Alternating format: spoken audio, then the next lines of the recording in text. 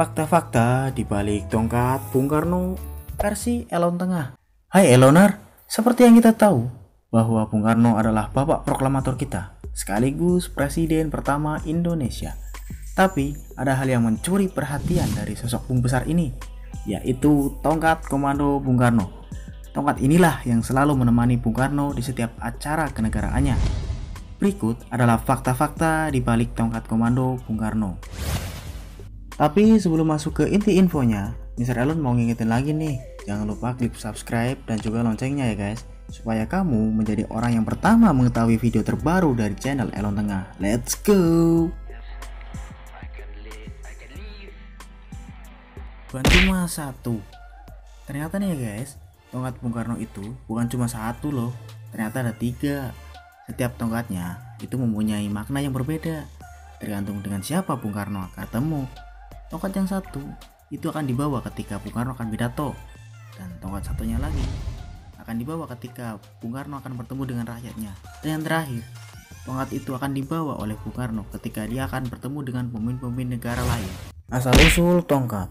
Suatu hari, Bung Karno bertemu dengan penebang pohon dan si penebang pohon itu memberikan sepucuk kayu yang bernama pucang galak. Karena kayu jenis ini langka, Bung Karno pun menerima dengan senang hati dan meminta pengrajin asal Jogja untuk mengukirnya. Di cerita lain pun berhembus dilansir dari buku Eddie Ellison yang berjudul Ketawa Bareng Bung Besar.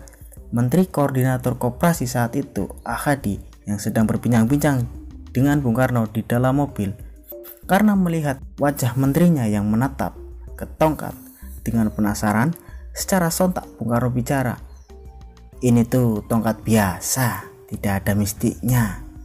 Ini pemberian dari Presiden Quirino dari Filipina sewaktu aku berkunjung ke Filipina. Gitu kata Bung Karno. Menyelamat Bung Karno.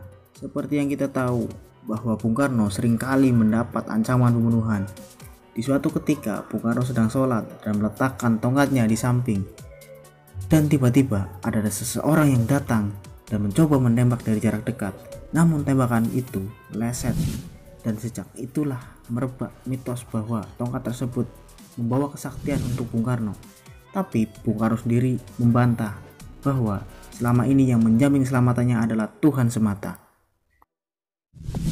Oke guys, udah dulu ya infonya. Jangan lupa tinggalkan komen di bawah. Mataraishu.